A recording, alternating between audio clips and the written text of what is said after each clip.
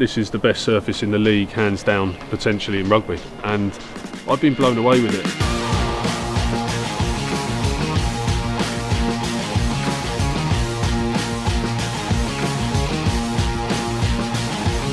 Verde specialise solely in artificial surfaces. Our aim and intention with this search was to provide the best pitch in the country and, and I believe we've done that. I know our first time we are on it, there was such a big buzz because so excited to, to train on it and it's nice as a player to have that confidence in the pitch. You know it's going to be the same, we, we train on it all the time and you got that consistency from it.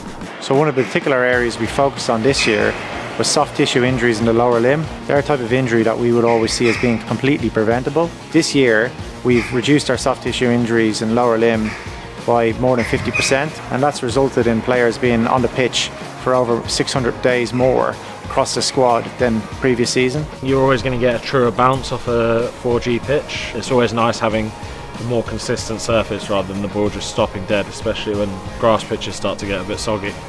The biggest thing is being on the same surface. You know, from our point of view, we, we chopped and changed surfaces last year, and the fact that this is good to go every day, whatever the conditions, that's new to the club, and, and that's really helped us, you know, stick with our training plan, schedule, get everything right.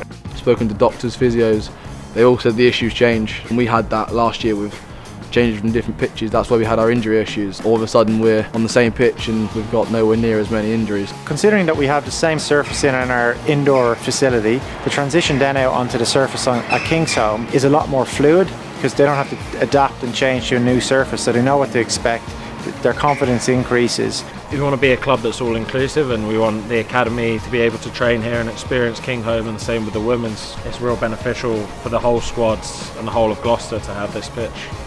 I think it's massive, you know, we're, we're having a real push to, to get Gloucester Rugby Club back to where it was within the community certainly this is this is the best surface in the league hands down potentially in rugby the results have been fantastic for us. Teams coming here have enjoyed playing on it. And certainly I think our, our supporters and fan base have enjoyed seeing the extra games that we're able to showcase. So overall it's been a, a huge success